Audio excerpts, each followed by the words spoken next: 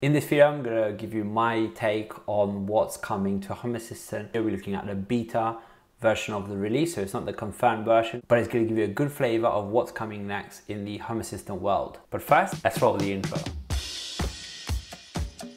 You'll find a link in the description down below with all of the release notes. The biggest headline feature of this release is the ability to connect your storage in Home Assistant to your NAS network attached storage. We will now be able to add network mounts into Home Assistant so we can use our NAS for storage. The example here, we can see that there's one for media.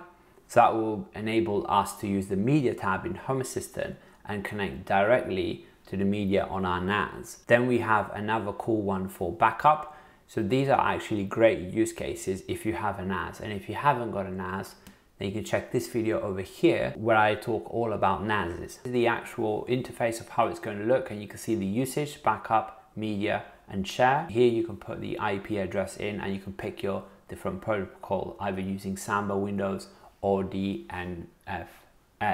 Moving on to the next feature, we have some cosmetic changes to how lights are currently operated. This is going to be useful if you have like colored light bulbs in Home Assistant. So as you can see from this video, it's quite simple to switch the color that you're using, but you can actually hover on top of it, hard click, and then pick a new favorite, and you can see that it appears. You have your plus buttons and your minus buttons to remove favorite colors from your lights. We have another menu overhaul. This time the integration page has been overhauled. You can see how the services and the entities and the devices are now organized under the integrations. So when you click the cogwheel, we actually got to appear to a brand new page.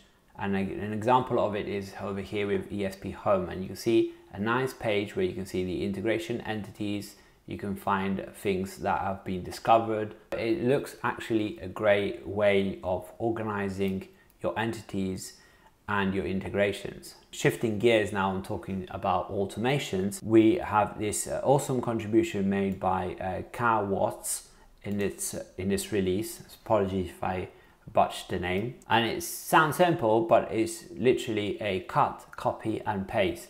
So if you have parts of your automation that you want to move, let's say you want to move them in an if condition, now you can see in this animation here, then you can easily just cut and paste. What I was doing previously, I was doing three dots, editing YAML, and then take the code and then move that across. This is going to be an easier way with fewer clicks to achieve the same thing. If you're a fan of Blueprint, a couple of good improvements coming in this release. There's a new blueprint page and in there you can actually look at your blueprints and see what is referencing your blueprints if there are any like automations or scenes that are using the blueprint. Also, which I really like this, uh, Home Assistant is going to help you prevent you from accidentally removing blueprints that are still in use. The next one is an example where the community made their faults quite clear. By popular request, the information of when the entity was last changed is coming back.